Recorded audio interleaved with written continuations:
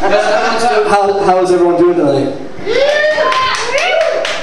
Yeah, that's, that's just that good, that's it? Well, I'm glad everyone's having at least a mediocre time. we got about five claps, that's okay. Wow,